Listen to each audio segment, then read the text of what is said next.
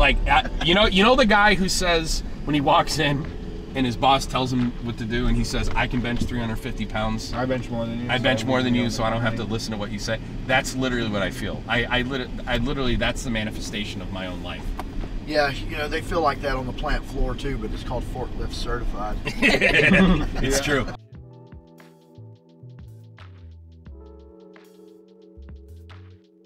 Oh, I didn't see you there. We're at Tulip today. So this is brand new here.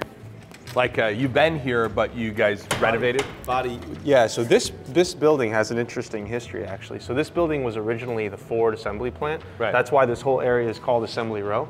We've got the picture of the Ford Edsel here. So this here used to be the old value stream for the Ford Edsel back in the day, Got and then it. it went through cheap kind of retail. It was a Kmart for a long time, and then we came in and you know we're bringing manufacturing back to Boston. Is kind of the way we think about Got it. it.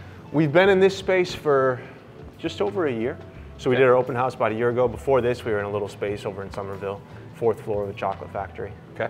Yeah. So Who, who are the who's the found, who are the founders of Tulip? yeah, Natan and Rony. So CEO, CTO. Okay. Natan, Natan's on the road today. Rony might be in today. Um, but Yeah. And their vision was what? But As you see it. Yeah, yeah. As a what was their, you know, hey, To give manufacturing a modern set of tools. Okay. You know, the, the people who are doing the work every day, the people who know the operation the best, to give them modern technology to help them do their work better. So was that from like a CI/CD perspective? Hey, there needs to be a toolkit for people on the Yeah. front line to be able to solve their own problems. Yeah, that the- basically. I mean, we, so we came out of the fluid interfaces lab Okay. at MIT. Uh, the idea here, so founders both have a background in manufacturing and in technology, right? Yeah. And so fluid interfaces lab was focused on, you know, how do you remove the barrier between technology and the humans that interact with that technology, right? So that was really the core of this. And the insight was, you know, both new manufacturing, you know, I grew up in Grand Rapids, you know, my family's all in manufacturing. So you look at the tools that are available to, you know, B2C, the stuff on your phone, Yep. uh, B2B enterprise SaaS for knowledge workers, and you've got a whole stack of tools that you can use, you know, whether you're doing designing, whether you're doing engineering, whether you're doing CRM, whatever the case may be, ERPs, all this stuff. When you get down to the people who actually do the work, the frontline operations workforce, Yep. there's nothing there. You see pen and paper, you see sticks and bricks, you see old monolithic back-end architectures from the 80s and 90s. Why do you think that is? Why is that the case? Yeah, why do you think? Well, we can talk about it. I've got Yeah. a, a you know a longer discussion on this, and we, we can sit down. I've got a little presentation prepared for you as well. Cool. But the gist of it is like the the way that these types of systems have been architected from day one, on premise. You define the processes, you define the requirements, you submit a, vendor, then they go, they build out the backend architecture. They say, okay, this is going to deploy on prem. Here are all the data models that you need. Here are all the interactions you're going to have. We're going to lock this down. Nobody's ever going to touch it again. And if you do, you need to call us. Right. Then we're going to slap a front end on it. That's always the last thing to come. 18 months later, you're going to actually roll this out on the shop floor. And then you're on the operations side and you're like, what the hell is this? You know, this is like, first of all, the people who defined the requirements a year and a half ago didn't actually know the operation. That's right. And, Second and of they all, did, and they didn't know what you would ultimately want. Precisely. Right. And the operation changed. That was Right. a year and a half ago, That's man. right. Product Yeah. line A sold, product line B didn't, right? So the idea here is that these are dynamic environments and you need tools that you can evolve, that you can change, that you can adjust to accommodate the needs you have, the needs that you have today. So that was the gist of the whole no-code platform that, you know, that is Tulip today. And but Tulip is more than no code, right? Like you, you go to market no code, Yep. right? Because that's probably the best way to land. But it's a lot more than just no code. Well, right? it's it's it's you know I'm a little kitschy here, but it's all no code. So you can do everything no code. Right. But it's also low code, right? So Right, the, right. the idea here in our first product principle is we want to build Tulip with low barriers but high ceilings. The point is if you're if you're a production engineer, you're on the line, you know your job better than anybody else in the world, but you don't know how to develop software, we want this tool to be accessible to you. So we modeled the no code experience after, you know, basically Google Slides or, you know, PowerPoint Right. plus Excel, plus simple workflow, if then else logic, right? Yep. If you understand that stuff, you can apply these tools to solve the problems that you know better than anybody else on the shop floor. Now that said, IT does get involved. So do people, and increasingly, I think the, what, who we're seeing enter the workforce is people, who, they're engineers. Right. They grew up, you know, they, they grew up on this stuff. They're Right. comfortable slinging a little bit of code. They can write some Python scripts. Right. So the idea is we want to make it accessible to your, you know, your average frontline uh, engineer, But if you do have some software chops or you are trying to integrate this into your existing digital infrastructure, which by the way, like 99% of our customers do, Yep. you can take it that extra mile, right? Perfect. is two things. One, it's a demo space where we give demos of the product. More importantly than that, though, it's a lab for us. So we hire a, a lot of our sales team, a lot of our services team. They come from manufacturing. They've got deep domain expertise, but a lot of our engineers don't know the first thing about manufacturing. When you say manufacturing, you're saying they are they, they have frontline experience as well. Yeah, So well, like tip, yeah, ti- it, it, it depends, right? So it depends on who we're hiring. If we're hiring more on the sales side, they typically didn't come from the operations. They come from, you know, Camstar or But you do like have op- people who have operational experience. Yes, absolutely. Okay, got it. Particularly on our services side, our Okay. support So side. that's rare. It's critical. It's- it's really- critical. it's and it's really also part of the reason why, like a lot of people trying to serve this industry fall, fall flat. Right, they don't- they- they don't understand the problem. Right, they're bringing software developer or you know computer scientists straight out of school. Right. No operational experience Right. whatsoever. They're brilliant. Yep. They can cr- they can build products, but they don't understand what the actual problem is. What we Yeah. talk about all the time is the problem. If you want to know what the problem is in an organization, in any manufacturer, you go to the front line. Yes, worker. sir. They know what all the problems are. Yes, sir. They literally can list them off. They may not say them the way we're going to say them. Yeah. Right. They may drop f bombs and they may get mad at you because Yeah. they've been trying to fix this for 12 years. We drop f bombs around here. too. Don't worry. but you go to the front line. Yeah, so exactly. One of the first things I ask every vendor when I go is to tell me about, like, the how do you leverage people who have operational experience in your organization? Are you running? Are you, do you do you bring somebody who's actually run a piece of equipment, put them inside that yellow box, and tell them and have them give you feedback Precisely. on how this workflow is going to, at the end of the day, get us closer to theoretical output on that on that line, right? At well, and that's of the day. that's also why it's critical. Uh, you know, not that's also why it's critical. Like, so we need that to be able to inform our approach, our strategy, like how we tell, how to help our customers adopt Tulip. But also, it's important to know we don't have a delivery organization. You can't contract us and say like build the solution and then like you know Right. we won't do business with you if that's what you're asking for. Right. What we have is an adoption management office. What we come in, we, we come in, we'll help you understand, we'll understand the problems, talk to the front line, and then say, great, here's how we're gonna, here's best practices, but here's how you build it. And if we haven't transferred responsibility of that of that solution over to the customer, then we failed. Yeah, we say, in, in- in fact, in all of our organizations, our partner integrators, you know, 4.0 solutions, we just do architecture, Yeah. education, right? But we also do digital transformation maturity assessment, which is the starting point Yeah, for yeah. these organizations. One of the things we're asking the organizations during that engagement is, are you expecting a vendor to come in Yeah. and own this and then support it forever? Or is your mindset, no, what I want is a partner to get me started. Yep. You know, the, the force multiplication in the beginning, get us onboarded, Yeah. and then eventually we take ownership, and then all they have them as is a, a resource for architecture co- complex questions. So there's an onboarding process. It's the only way to do business Right, right. the only way you can do And it. let- let me show you something actually. So, and the other part of this is, so why did we build Tulip the way that we did, and how are we intending people to engage with this? Okay. You know, we're going to get into this a little bit deeper a little bit later, Yeah. but what I want to show you is, look, this is the admin side of Tulip, where the engineers go to build applications, deploy these to the shop floor, to connect it to third-party systems, build out analyses. Everything you see on every screen here is just a Tulip app. Okay. Yep. This is how you build all this stuff. But the point is, and then at the end of the day, it's going to live on some interface. Maybe it's a cell phone, maybe it's a touch screen, maybe it's a tablet, maybe it's a, a wearable. I mean, mm-hmm. not many people use them to be Right. honest, but you know, if- Honestly, they should have. But If they Goo- talk- Google Glass was our favorite. we've got was them. our favorite originally. We've got them right over there. And then when they abandoned the project, we were like. "What? You got to be kidding me!" the point is, if it talks to the internet, you can put an app on it, right? And that's just a function of our modern architecture, right? But the point here is, you put this on the shop floor and you say, okay, Mr. Operator, Mr. Associate, how does this look? And they say, "Yeah, it looks pretty good, but, and there's always a but. And, and at first, there's, before you say, how does this look, there's a big eye roll like, oh boy, here we go again, right? Flavor of the month. Exactly. So we say, here you go. So they'll say something like, oh, you know what, this is pretty good, but, and this is another reason why is no code so important, because you can sit on the shop floor and say, what are you missing? You know, you can do things like, oh, you know what, I actually need a button here, and what's this button gonna do? Let me show you.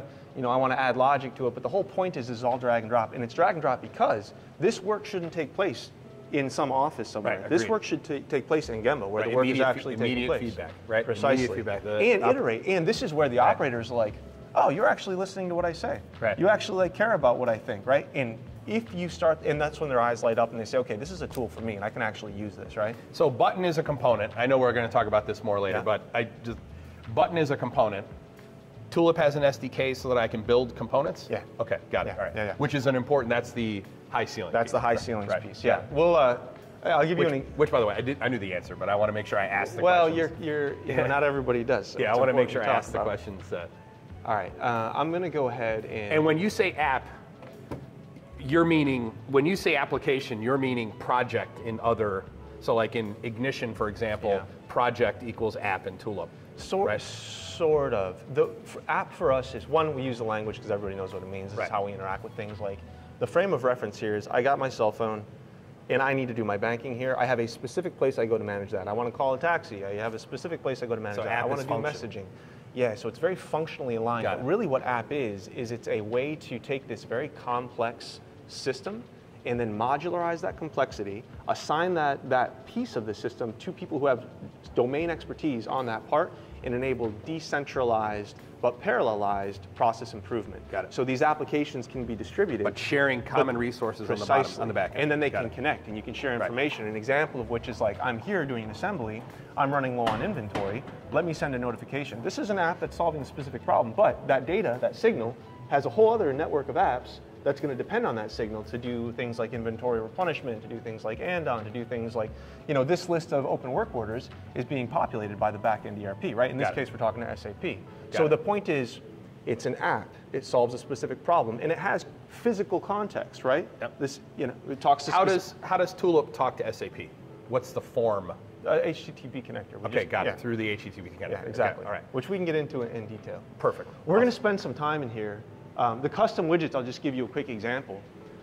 This is a classic example. Like this is not a widget that we're going to make universally available for everybody because we think that so many people have this specific cart with this specific. You know, this is an example of something you can code up in, if you're good, 20 minutes. You just put your own JSON, your CSS, your HTML, and then you deploy it, and then it's available as a click, drag, and drop function, right? Got it. And, and that's kind of foundational to our product. And button is a function. A button is literally a thing you just drag and put there and you can click. So is a bin, if I create a bin object or a bin resource, Yep. is, is that the equivalent of a prepackaged button object or resource in Tulip? Yeah, yeah. If They're the- treated the same way. yes. Okay, got it. For all, for all intents and purposes. The difference is with a button, you would configure the logic using no code. Here, you've hardwired that logic by writing the JavaScript. Got it. So It's, so it's JS. So it's JS. yeah, okay, yeah. got it. All right, good. Functionally the same. The way you configure it's a little different. All right, perfect. All right. All right, let's, I want to give you guys a tour of the space. We're going to come back in here, spend a lot of time going much deeper into this stuff. Um, this, So is, this is cool? This is kind of cool. This, let's go in here for a sec. So is this one app spread across four screens or four? Nope, this is just a, you know, we put it in an app, but then there was really no reason for it to be an app. This is just a little web service that we put together. Okay. You know, Tulip's a cloud native platform, so you can see real time. This shows you every, so every blue dot here is a human being right now that's using an application to do their job, like right now, this second, right? Okay. Every yellow dot is an event that's been received by Tulip. So this is a part was produced, a quality defect was captured, a machine state changed, something like that, right? So you can see, you know, Europe is still working. The West Coast is starting to wake up. East Coast is working. If you're in here late at night, you see Europe's asleep. You see the US going to sleep. You see APAC light up. So, you know what's really funny? Here's another thing. I am absolutely stunned at how many people did not know Tulip is here. Yeah. Well, we piggybacked on this live work thing Yeah. a little bit. It is. It really blows my mind. I, I talked to so many people yesterday, Yeah. and I said, "Hey, I'm going to go visit Tulip tomorrow," and they go, "Oh, Tulip's in Boston." Yeah. I'm like, "Oh, yeah." What I, what I said from the very beginning was, "Listen, Tulip's going places." Then, a, then let's say a year passes, and then every, and then I actually did a video just a couple months ago saying, you know, inductive automation needs to worry about Tulip. You know, if, if it, inductive automation doesn't mean we're worried about FrameworX, I don't need to be worried about Factory Studio because Factory Studio is more high, super high speed applications. Mm-hmm. When your visualization needs to update at the same rate your process updates, now you need FrameworX because it's much closer to the motherboard. Sure. Inductive automation needs to worry about Tulip now, and that's my position. That's part of the reason I want to be here. Is you know there's there are some serious advantages your platform has over Ignition. Not the least of which is Ignition is on a dated code base. Yeah. A really dated code base. And there are real questions now about what's the long-term viability of a platform built in Java and using Jython 2.5, which is, I mean, by the way, we're at the we're, we're, we're really close to Python 4, and they're still on Python 2. So mm-hmm. the question is, what is going to happen? You know, it, it- what's, what is the what is the, the long-term viability of that platform? And so what we've been looking for is, how, what do we tell our audience? Okay, here are the solutions you should be choosing from. Like the most thing, the most important thing is your digital strategy and your architecture, and then you piece in the solutions to into that architecture. Yep. Start there. The big conversation that we're having with people now, as it relates to Tulip, is, hey, listen, short time to value is very important. Yep. Right. Being able to you have to be able to do in six to ten weeks. You have to be able to spend fifty thousand dollars or less and yield a quarter million dollars return in six to ten weeks. So there aren't many platforms that fit that requirement. If you you got to be able to onboard and in six to ten weeks Yep. spend less than fifty thousand dollars in engineering and licensing and yield a two hundred fifty thousand dollar return within the next twelve months. Yep. There aren't many platforms. Tulip is one of those. Yeah. It's a small, You betcha. small suite of, of products out there.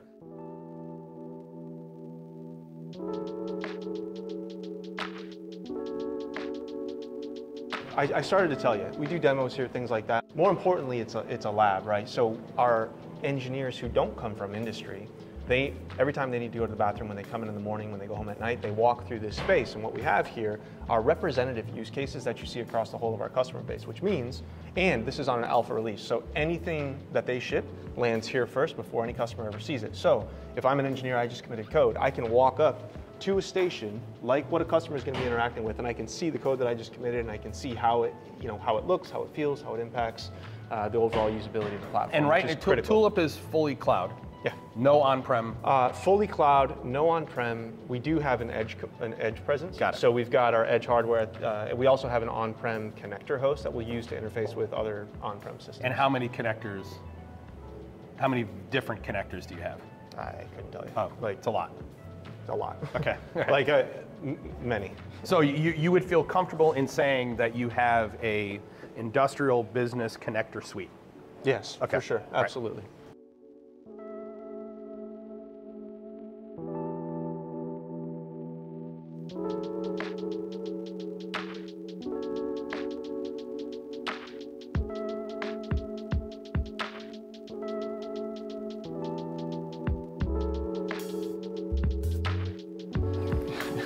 pretty wild. We moved into this place just like a year and a half ago, and we're like, you know, we're never going to use all this space. Now we do an all hands. And you ran out of It's the standing already. room only. There's Yeah. not enough chairs. It's it's pretty wild.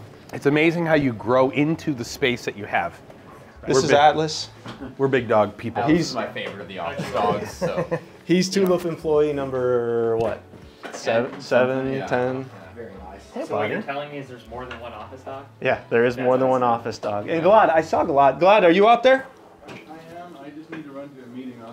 All good. Come in real quick. Hi, This Walker. Gilad, he runs Hey, our, I'm Walker. our Nice to meet you. services organization. Service. Yeah. Okay. Runs our services organiz- organization as well as solution architecture and our industry practice. So very, you're very involved in onboarding of customers. That's correct. Onboarding, changing, transforming, Okay. explaining this new digital technology. Do you have a like a rela- a close relationship with the integrators that are using Tulip as well? So part of my team also is the enablement of the integrators, so teaching them how to how to use Tulip, how to transform with Tulip, etc. What does the typical um, onboarding process for an integrator look like? That is from first introduction to Tulip to being able to develop minimum viable product to what you would ref- describe as power user. What's that period? Well, the period, it, you know, it can be you know between one to three months. Okay. And That's a good number. Yeah, and they uh, so we have a lot of a lot of stuff is online. We have a lot of online resources, Tulip University, etc. They go through, you know, so most of our partners are also resellers. So there's like a there's a, a it's kind of a sales enablement type portion to it. They they have to have people in our university getting certified, passing the, the courses, and then there are specific courses around you know how you deliver Tulip solutions. Uh, once they get all that, they do one project, uh, and we give them a homework exercise. And if we get that all done, then they get certified and they're off and running by themselves. What percentage of people who partake in that endeavor actually get certified? Well, we try to hit 100%. There's a lot of a lot of the bigger integrators. They'll do like 50%. We need to push them, you know, towards the end. Uh, it has to do with you know if there's a if they have a project and they have a customer, then the percentages are much Right, higher. they have an incentive to. The, the incentive, and that's not unique to Tulip. That's like everybody's uh, problem. Well, here's the money question right here. So if there was one, if there was one thing you could say to all integrators who are considering, not just integrators, integrators, OEMs, end users, who are considering using the Tulip platform, the one thing that you would want to communicate to every single person, do this or don't do this or do these things, what would that be? You're like technically, or It's the thing that you and your team all bitch about. It's the thing that you would go, God, I'm this again. So yeah, first of all, you have to think differently. Right? The, day, the, the, the days the days of I'm going to sit there and make this complicated thing so they are relying on me is gone. We're democratized right now, right? And you need to kind of you need to you need to uh, get with the you get with the times Yeah. and understand that your business model is changing, Yes. right? And you need to you, you, you're, you're still going to make money, but you're going to make your money differently. What if I described it this way? Um, our approach and what we teach the integrators that we work with is the idea that you are going to go deep and stay long with a client. It, those days, your job now is to collaborate with your client, Yeah. onboard your client, then teach them what it is you do. Let the client take ownership, and your job is to do heavy lifting and focus on the things, you know, ML, AI, you know, turning data into additional value for the organization, not presenting it on a dashboard, right? Would that be an accurate? Yeah, that's accurate. And it's, Okay. you know, my analogy is, you know, we're in we're in this as a service type of environment, right? Uh, you know, in, in the 1900s when electricity came around, every plant had an electricity manager, Yeah. right? There was a guy who was responsible, like a CIO is today, responsible for electricity. Yeah. And you know, now it's a plug in the wall, and if it doesn't work, you call somebody and you fix it. The- you know, we're, we're heading that way, so you need to think, have to have this as a service mentality. So you're, ser- you know, you're, you're, you and you're going to get revenue from subscription Yes. which is not what they're used to, right? Right. So, and, and if you are, They don't think in terms of ARR and MRR, No, right? but- that just doesn't. what I explained to them is, you know, you're selling a subscription that is recurring. In order to make sure the customer comes again and buys more, you need to offer your services. So yeah, you're not getting paid hourly for those, but you're getting paid hour for that. So you have to kind of make that mental shift to go, I'm actually spending time supporting an ARR revenue stream versus a like an hourly. So we have certification like you can resell Tulip, and certification you can resell and implement Tulip by yourself. Okay. So until you're certified to implement Tulip by yourself, we try, we work with them. So we have some kind of arrangement. Uh, and again, this is pretty new. So we are, we are, we're gonna, our target is to get more than 10 fully certified this year. Walker, your your background, just Yeah. to like you know, I, that's actually was my next question was going to be. it's, Tell me im- your it's background. important because you know we talk about you're building a technology company and you're also building deep industry expertise. Right. And I and I you should hear that perspective. So um, in the 1990s, right, I, I did my PhD in Europe. Okay. And in 1990s, there was this European framework framework research project that is was the basic the basis for Industry 4.0. Sit back here. So you know, Aachen University, all these, and so we did.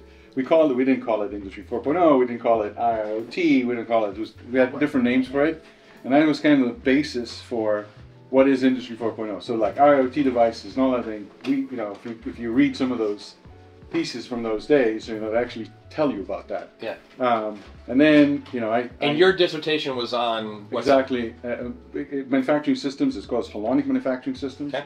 Right. which is kind of a, trying to represent social structures in. Ah, dude. I I uh, I am pretty sure I read your dissertation. Okay, well, good. Yeah, I am fairly certain I read your dissertation. Uh, My my back, I have a undergraduate degree in sociology. Okay. So how I ended up here was the the the emergence of I the convergence of watching manufacturing exodus in the Northeast in the 1980s. Why did that happen? Studying sociology and learning that it wasn't American greed, it wasn't American companies' greed, it was a lack of adoption of Industry 3.0. Japanese and Germans went way ahead and put American companies at a strategic disadvantage in the late 70s and early 80s. They had to chase cheap labor in order to just stay alive. And my focus was whoa, the fourth industrial revolution, if you look at Moore's Law, the fourth industrial revolution is going to happen somewhere in the early 2000s. So why don't we position American manufacturing to lead digital, lead that that in that revolution? That was how I got here. That I went back and got a double E, and, and my master's is actually in education. Wow. As it relates to Industry 4.0, I'm very hard on the EU's standard. I'm incredibly hard on it because they have maturity starting with computerization. And it actually doesn't start with computerization, it starts with education.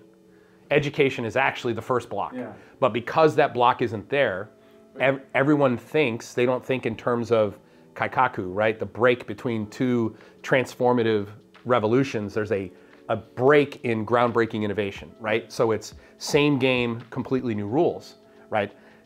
You have to educate in that jump. Or otherwise, if you don't educate, then all you end up with are Tesla and Amazon and the the new players.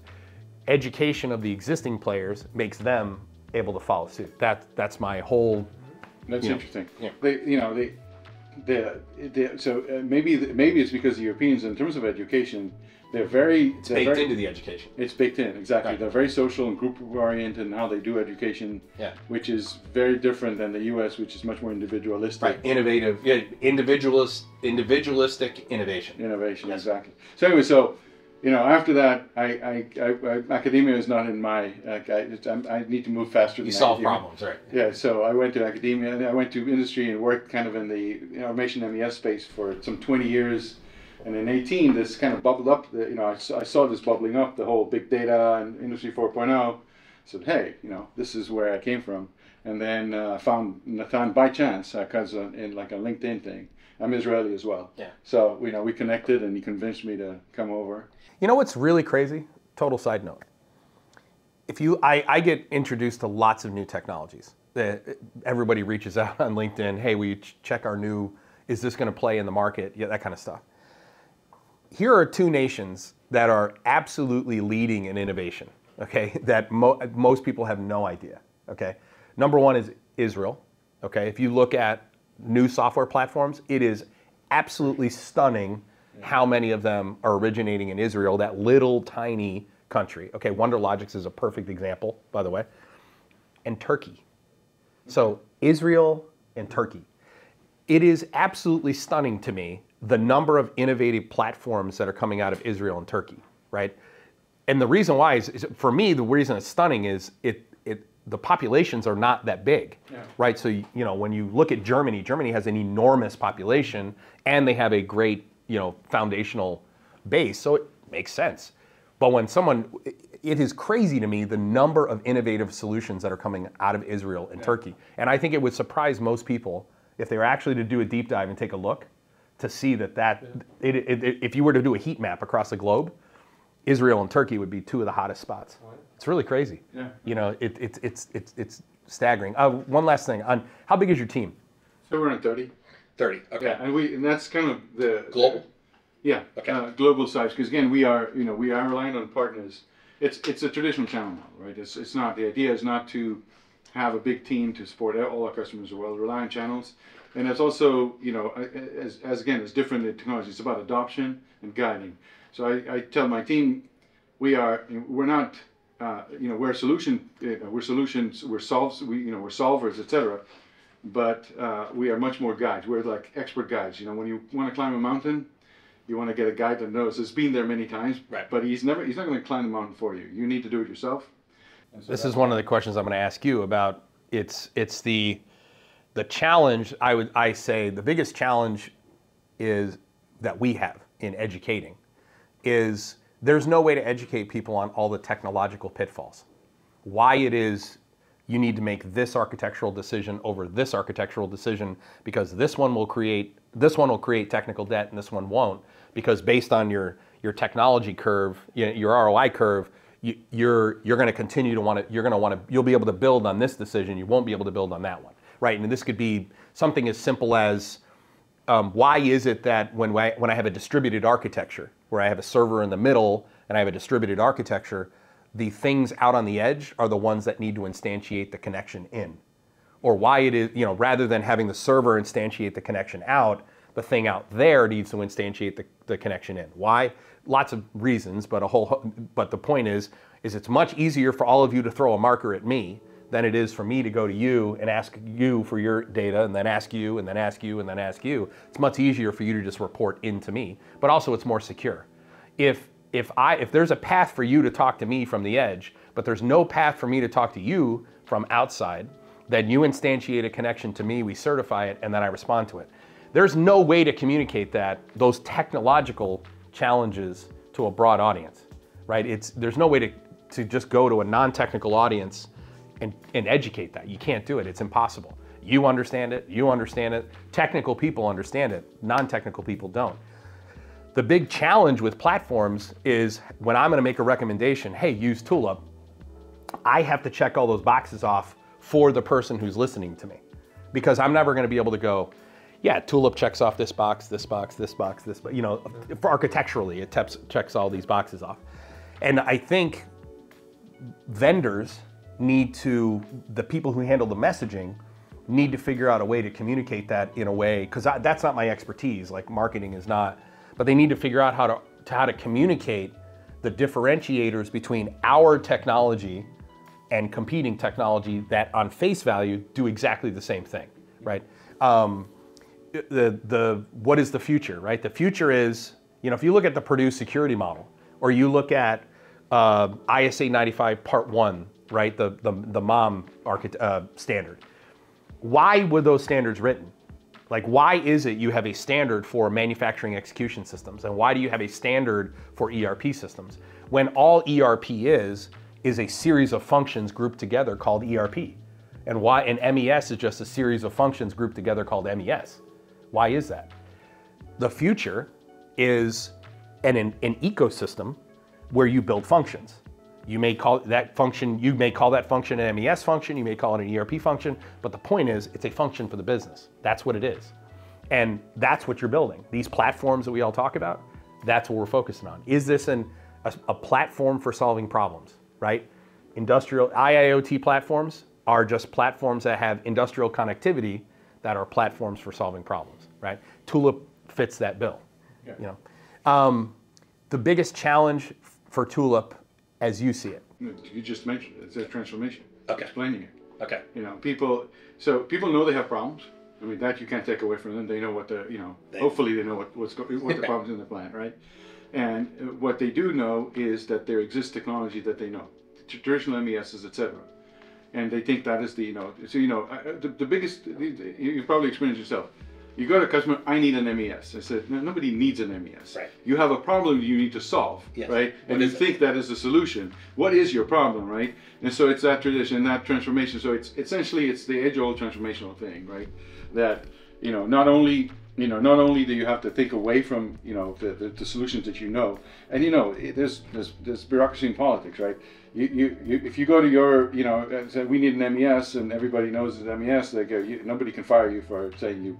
Right. You, you need MES. You're never going to get fired for picking uh, GE's, you know, iFix's MES system. Not yet. Not yet. You will. Not yet. Yeah. We'll, we'll talk about it. Yeah. but, but the other the other part of it is that people don't understand what this new technology can do for them, right? Right. So it's the, the age old, you know, and I have another another one of my analogies that I like What do you need? that I like that I like to tell is, you know, I I uh, I listen. I I go motorcycling a lot. I, I vi- so I visited this ghost town in California called Bodie. And the guy who was there was telling me that when electricity came to Bodie, right before that, they believed that uh, if you kink a wire, if you take a wire and do a 90, 90 degree on it, the electricity would shoot off the end. Because they didn't know that, didn't know what it was, right? So think about that analogy in the modern day when we come and say, you know, things like unified namespaces and edge devices and AI and ML, etc. They're names, right? Like electricity, they're names, but they really don't understand what it can do for them and how it's going to. And the other thing they didn't understand is how it basically will transform mining to the point where the ghost town became ghost town because it just became these big mining companies that ran the whole thing, right? So This is the biggest challenge companies like Tulip have. Not just Tulip, it's, it's, it's everybody who fits in the Tulip space, the industrial Internet of Things platform. You just said it. The customer says they come to you with a problem, and what they know is basically nothing. And what they want is basically nothing. Okay? They come to you with a very specific problem. If you use an industrial Internet of Things platform, that you're able to do short time to value, you're able to solve the problem quickly, then what they want is what they know is going to increase. Okay? If you do it at scale, it's not going to be just for the person whose problem you solved, it's going to be for the whole business. So the whole business is going to get smarter at the same time. You know what happens? What they want changes. Mm-hmm. What, what they want is always a function of what they know. The biggest challenge you have is do they really know what their problem is? Because if you solve that problem and they're wrong, then they didn't get any smarter. Mm-hmm. So what we try to do is we try to solve that problem, but we also try to identify what their real problem is. Some other problem they're not aware of based on our expertise. And then what we try to do is solve both problems in the same solution. So then what you do is you show them the art of the possible. So they think of it, they're still thinking, you talk about the mindset, which is definitely the answer, right? The mindset has to shift. They think of solving problems as projects, standalone, turnkey, a request for proposal, functional spec- specification, but they never think of it as one, one piece of a much larger puzzle that all has to work together. Which the- is why you need a platform approach to these issues. No otherwise question. You end up, oh, otherwise, you end up with a bunch of siloed point solutions, which is where which is worse than which, where which, which is where everybody is right now. Precisely. The legacy manufacturers are there right now. They, when you ask, I'm going to be giving the keynote at Mass MEP tomorrow. Slide number three is why is Tesla and Amazon awesome? Why are Tesla and Amazon awesome? That's the question. And then I just shut up. And I want to see do people know? You know, Tesla and Amazon are incredibly similar companies, even though they're in two entirely different industries. Number one, data is their primary commodity and they built digital ecosystem. Everything in you know Bezos' famous email from 2002, right? We you're not going to um, share data manually anymore. Everything will be through a service. And then they wrote a specification for what services will look like. You know what that is for a manufacturer? A platform. You don't have to write the specification. You buy the platform. You just got to make sure the platform meets the needs of all your problems. By the way, it's also how you build a scalable platform. It's exactly- the same principles apply directly to how we organize our engineering resources. You know, like we organize our team such that it like naturally leads to the platform you want to exist, right? You have Conway's law. The structure of the product you build is going to reflect the communication patterns in your org.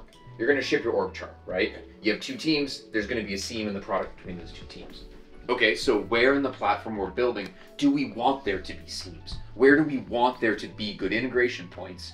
Okay, let's organize our team boundaries around that so the teams are forced to communicate in the same way that our customers will integrate and build on top of us. while while also keeping a a, a mechanism for individuals to innovate within that platform and a mechanism for you to observe their innovation and then decide whether or not you want to promote their innovation to scale or do you leave it as standalone And by the way, the, the, the means of communication across these different teams is an an internal API. And at Tulip, all of our internal APIs will be public by default. Why? Because we're building for the long term. You asked earlier, are we going to try and get acquired in two years? The answer is fuck no. The answer is like hell no. The answer is like that is complete abject failure on behalf of every single person here. What we're building for is a future state where third parties that don't work at Tulip can build on top of the public APIs we make available in the same way that another product team could within Tulip, right? The idea here is building for a truly extensible platform that leverages an ecosystem that I believe will become the new manufacturing stack, you know?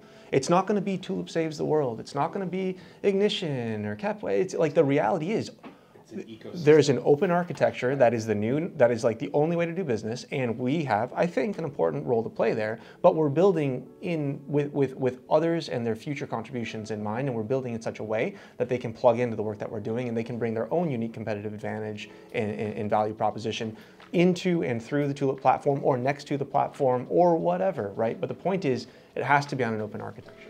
I have a couple questions for you and then i have a question for both of you which is and i don't know if you have time No, to I'm- hear I already missed my meeting, so I'm. You good? Okay. You got- So I, I'll let me pivot to the Sure. engineering question. So primary. So you lead engineering. Yep. Right. Your primary goal as a leader of the engineering group, as it as it as it's designed to serve the mission of Tulip. What is your primary goal for your team? To build the organization and team that can scale and actually deliver this product. What is scale in your mind? Scale is number of users, it's number of, and customers, it, but it's also number of people integrating into the platform, right? Manufacturing is incredibly diverse. We see the tools and methods you use to build one product are differ. We have customers in luxury goods and pharmaceuticals and like automotive, right? Like, how are you building And- one? bug farming. Yeah. I swear to goodness. I, I, I was in Paris Monday morning about a month and a half ago, and I'm like meeting with like they're, they're a biotech company. They take soldier fly larva, they grow it on an automated process, then they send it over to a big press. They squish it, spin it real fast, separate out for like the protein, the lipids, the fertilizer, and then that night I'm with Richemont Group's leadership team, and the next day we're on we're touring Cartier. like both are transforming their operations with Tulip, right? So like the diverse. How do we build a product that can do both of those? I'm just going to point back to the last conversation we had. Like, right, I need to orient this team towards building a platform, building open, taking the same tools we're building internally, and then turning them around and making them available to the customer. And this goes beyond just APIs. This also means letting people write plugins on top of Tulip and build actual UI that integrates and feels seamless with the rest of Tulip because I know that we cannot do it all, right? We cannot do everything that our customers need. We need to enable others to build on. Let let me ask you this from an engineering and service perspective. Mm-hmm. How do you balance the desires of the customer with what you know is best for them? Here's a good, good example. Uh, y- Steve Jobs spent $5 billion developing the iPhone, okay, uh, in 2008. And he never got board approval. He never went to the board of directors and pitched the iPhone. He, and you know why? because there was no way for him to calculate what the value of the iPhone was. It was groundbreaking innovation. So how do you, and, and you know, you have the experience, you have the experience, I have the experience. You have, you see, you know, the advantage we have is cultural diffusion. We get to see many manufacturers. We're not stuck in just our process. And so we can see the commonalities and we can see the differentiators, right? So we can say, we know when a client tells us they want us to do something and we're going, Eesh, man, if I'm if I'm in charge here, I'm not going that direction. In fact, I think you're burning, you're wasting your money in that area. I think you need to go in this direction. How do you balance meeting the needs from, from a service and engineering perspective, meeting the needs of the client, but while also creating an environment that steers them towards what it is they actually need, right? How do you balance that? This is one of the core difficulties of building enterprise software because you end up with these large customers that pay you many, many, many dollars and they want that sway and influence over, hey, we need this very specific point thing. Right. And sometimes their thing, okay, you could push it and move it in this direction, figure out how to generalize it. And sometimes they're using the product wrong. They're doing something wrong that doesn't align with the vision of where we want it to go. And that mismatch is coming out into this feature and that's why they want it, right? Right. Now, when we went into our product planning process for this fiscal year, uh, Erik spent a bunch of time collecting input from every single person that interacts with customers. What do our customers need? What do you see as the most critical things? And came up with a very clear, agreed upon list of everything that our customers said that they needed. And then we went through and said, okay, where are we ignoring that? Right? Like, what makes sense here? What do we totally agree? And this is absolutely the right thing that we need to push on, and this is a weakness of the product. And what are the bets we're making? What are the things that maybe aren't even on this list or are low down and we don't care about the customer input on this because we believe in the future and potential of this? Good. So that's rare. Something else I want to. That's really, rare in the platform world. That is very rare. Something- Uh, I, some- I yeah, just yeah. spoke with someone yesterday, uh, you know, a, a vendor yesterday, and I was making a recommendation on an improvement to their platform, which I know unequivocally is an innovation they they must have. Okay, we I, not just me, our whole community, and anybody that's on this side of the digital transfer, you know, on the curve, they're on this side towards Industry 4.0, knows they must do this thing. And the response from the product owner was the product manager was, well, the bet that's being placed in the European Union right now is this other technology. Now, it doesn't take a rocket scientist to know that the technology that the EU is using, or at least he's arguing is using, isn't, isn't going to scale, and they're going to have to pivot at some point. Ba- basic math, you can calculate it on a whiteboard. But they're- they place their whole bet on the direction the EU is going. When I was thinking in my head, no, there needs to be, you need to be hedging that bet, right? You need to be able to serve the direction they're going, but lay the foundation for where they're, as they learn, Things th- they don't even know they want. right? They don't even know they want. They, you. you know, Ford, right? Yes. Can't build a You asked- faster horse. Yeah, Yeah. a faster horse, right? What about you? How do you balance? So, so we're Because you're at, they're asking you for the solution. Yeah, exactly. So it's back. It's back to what I said before. I need to let me ask. Well, what is your problem? What's what's what is what serves us is this bottoms up uh, way that we do things in tool in digital technology generally. That you don't have to solve the whole problem in its entirety before you can show value. Right. So we say, okay, you know, we get it, but let's just focus on what the. We have a as part of our services methodology. You know, we go there. Like we start by saying, like, let's really go into details about what is your problem, and we also are looking for actual metrics. So if this is your problem, you know, how can we measure that we do improvement? And we do small iterations. We'll do a, a, a quick few apps, and we're talking weeks, right? A few weeks, and show value, and they can say, oh, okay, you did affect my my metric to something that's that is now. I say that it is not easy because you go to these organizations, you know, and you know you, you'll talk to the production supervisor. He certainly knows what his problem is. But then IT comes in and just constantly says like, I need an MES. I need an MES. This is not an MES, and then you have that. So it's it, you know it's not that clean, but that really is what we attempt to do. Uh, uh, you know, just kind of start small and build build value fast. And So, yeah, you want to walk us Sure. through this particular use Yeah, absolutely. So yeah, so this use case is um, kind of tailored for our life sciences customers, right? And in the life science vertical, especially, all these guys want to do is make sure that their process is being done right and that they're keeping all of the data that they need to be keeping, right? Because disproportionately, especially versus the general manufacturing and assembly guys, they need to be keeping pages upon pages of batch data and lot numbers and timestamps on every single vial here to make sure that everything's being done right. Because if it's being done wrong, that's being injected into a real person. right? So, with this hood, um, company came to us, said, "Hey, we think you would be a great partner for us to make this thing. All we need to do is make sure someone's doing it right, and make sure that we're actually logging information more than 12 hours after the fact." So, with this small little app, I can start existing studies or you know start new studies.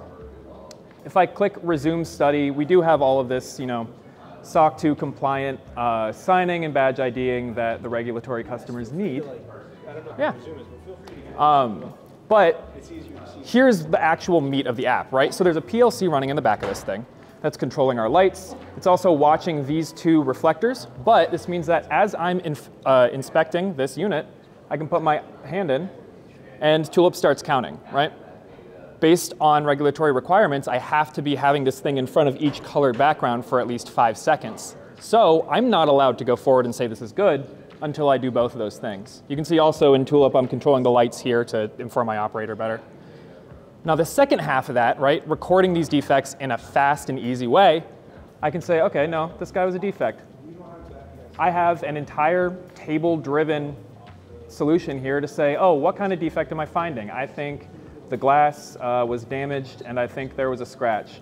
Cool, report submitted with full history and batch inspection, all of this kind of back-end work, immediately sending to my Tulip table or you know, a database somewhere else. Right, so that's done. That's the entirety of that process that required another whole person at the end of the day eliminated. So super simple cases here, but huge implications for data capture, data security, and then because all this data is within Tulip, I can do things like you know, monitor my users and make sure they're being as efficient or as uh, you know, relevant as possible to the things that I'm inspecting. I can say, hey, of the studies that I did today, this week, this month, uh, where were my defects? What am I you know, tracking, logging all this kind of information as well.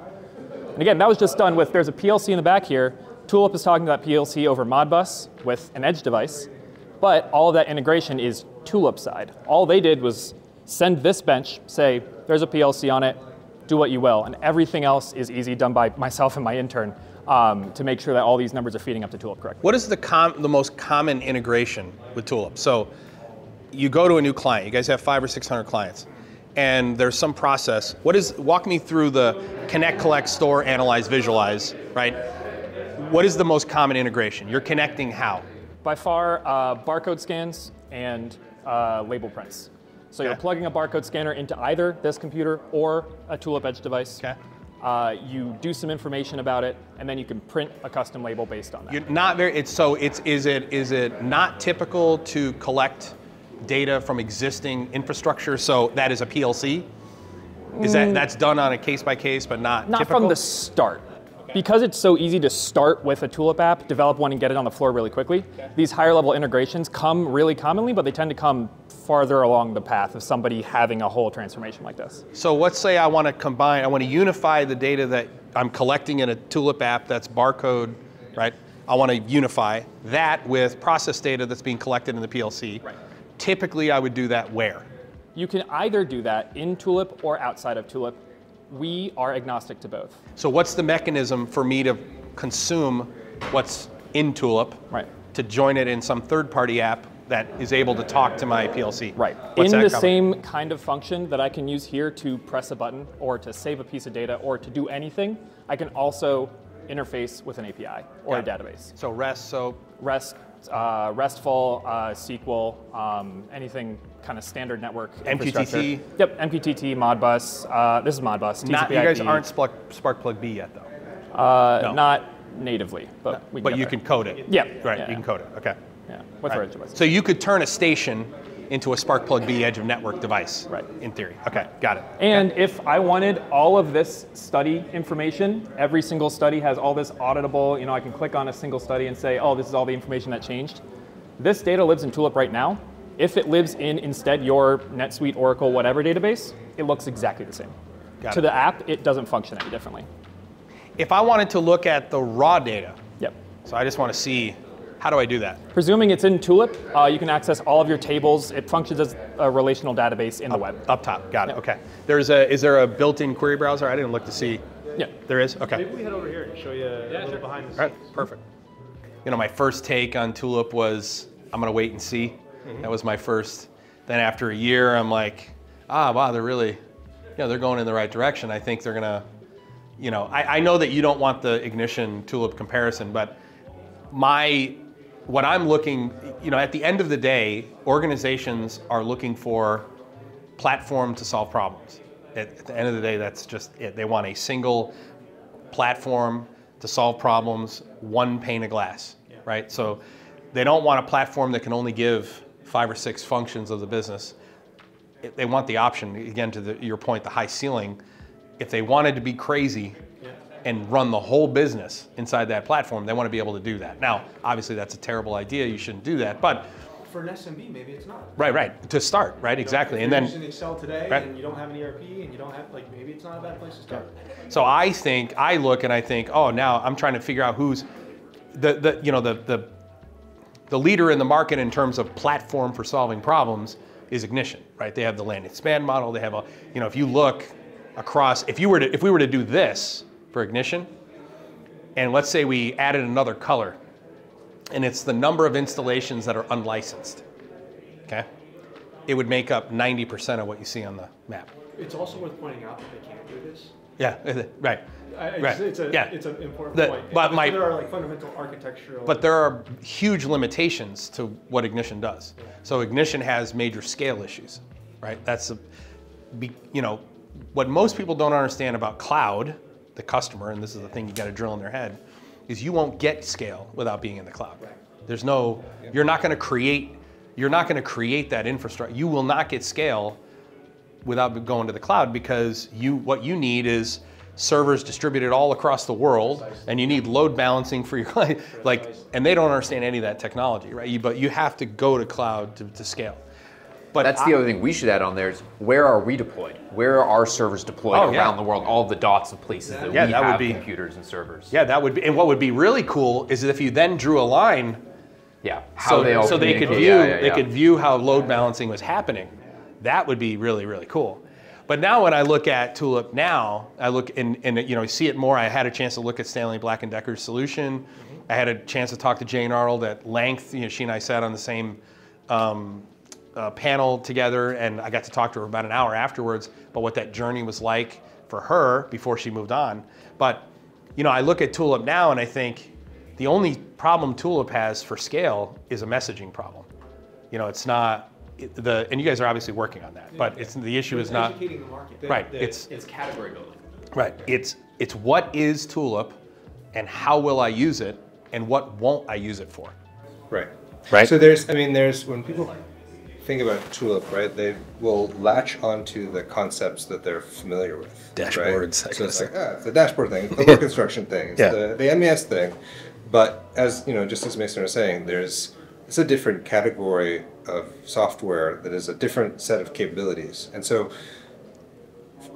frequently people come here and they see you know the demonstrations we have set up and how they're integrated and like there's there's some kind of aha moment for them I didn't I didn't re- I didn't realize that I could do this or I didn't think about that problem with this tool that is a change like I'm curious what your what your perspective is having seen this now Well, If, it's also like, why this this space exists, right? Because they might have been looking at it like this, saying, "Hey, this is the problem I want to solve," but we have to like open their eyes and say, "Wait a minute, I have that problem too, and I have that problem too, and, I have, and all of this is being solved on the same platform, and why that is so foundational." I'm looking at maturity scale. So in the way I look, the way I think is what I put on your whiteboard.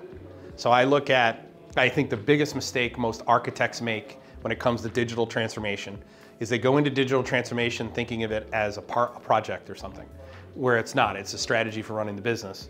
And what a customer wants is a function of what they know, and what they know increases based on what you build them, right? So what I look at is is more the maturity. Uh, so what's happening is I think Tulip's probably entering in two primary markets. The place where there's no human interface with the ecosystem at all, and Tulip's becoming that entry point. Right, that last mile piece, right? That that that piece right there is clear. And then the other piece is I need something uh, web-based, cloud-based, uh, scalably deployed, where I can build apps and deploy them to the edge that turn our data into something valuable, right? So you have that last mile piece, and then you have the analytics piece. I think that's probably where your big, your big market is, right?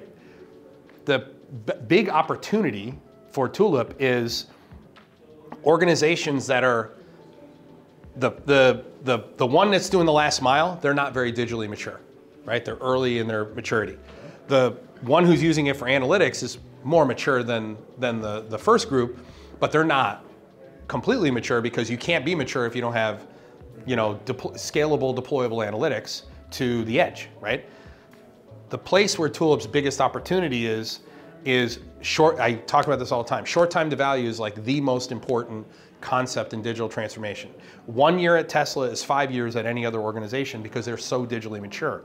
They're providing values every two to four weeks, every, uh, solutions every two to four weeks. If you look at you at Tesla, is you're literally releasing, you're doing releases every two to four weeks, not every six to 10 weeks. Yeah, right, you know what I mean? It's like, they're, they're literally. By the way, we do releases every two weeks, just to be clear. Right, yeah, yeah, but, but right, my, but my point is that if I go to Ignite Inductive Automation, yeah. they're not. They're doing it every 12 weeks. But a big part of that yeah. is the architecture. When I say like they can't yeah. do this, like it's not like they don't have a, like a fancy four the, screens on a wall. That's not the point. The point is like the architecture that we have allows us to commit, move fast, get this visibility, scale. But what you want is what I think you guys want in the market is you want to take Tulip and plug it into a mature ecosystem, not an immature ecosystem. You want to take Tulip and you want to bolt it onto the side of a mature ecosystem. And the reason why is because the time to value in app development is much lower in Tulip than it is in their ecosystem. That's, that's my point. My point is, is that right now Tulip is very, very much viewed as a, we're gonna go ahead and collect stuff from the operators, functions from the operators. But there's a, there's a whole market for Tulip that I don't, see, I haven't just heard, I haven't heard you guys talk about, and that is there are companies with very mature digital ecosystems, right? But they're missing, what's their biggest challenge? CI/CD right? It's the how, how do I enable people to do stuff with that ecosystem? a lot of these organizations that started early, they don't have that piece in place. Power Apps doesn't do it. Power BI doesn't do it. Okay, it, it, it, that's what they they thought it would do it, but it doesn't. Right? Tulip is the the bolt-on, and that's why I keep asking you about the connectors. Okay, so what what connectors do you actually have? And if, let's say I already have a mature digital ecosystem and I go ahead, all right, we're gonna go ahead and license Tulip. We're gonna put three stations out on the plant floor. We're gonna plug into an existing ecosystem and we're gonna go ahead and build an app in two hours, okay? What does that look like? What, what, what, what use case could I select, right? I, I know I can do SQL, Postgres, REST, I know I can do MQTT ingestion, but not Sparkplug B, right? I can consume from MQTT broker, but not Sparkplug B. So I would just eliminate that, any Sparkplug B option. I don't know all the other ones. You know, what else could I, you know, OPC UA, right? OPC. So it, I think it's that. I think if you were to communicate that better, the connection piece, mm-hmm. not just the low code, no code, which you guys are doing a really good job of communicating that it's the, you know, this is a platform for solving problems no matter how mature you are, right? Maybe, maybe you've already picked a platform. I'm, we're a ThingWorx house. So is it ThingWorx or Tulip? No, it isn't. You know, and, and I, I think that's what needs to be communicated. All right, guys, I just finished a day-long tour at Tulip here in Somerville, Massachusetts in the old Ford assembly plant for the Ford Edsel. Spent a couple hours together going over Tulip, incredible platform, going over strategic partnerships, just talking, breaking bread, all afternoon and morning long. Um, we have almost two terabytes of videos here at our trip to Massachusetts. Tomorrow we've got the, uh, the keynote address at Mass MEP. Let me say this when it comes to Tulip. In terms of low code and no code, Tulip is an absolutely incredible platform. And when you take Tulip and you couple it with HighByte, what you have is a no code platform that plugs directly into an existing digital infrastructure. It is absolutely profound. All right. Uh, we have a bunch of videos that are for members only. Uh, for the YouTube members, if you want to join as a YouTube member, click on the link down below. I'll see you in the next one.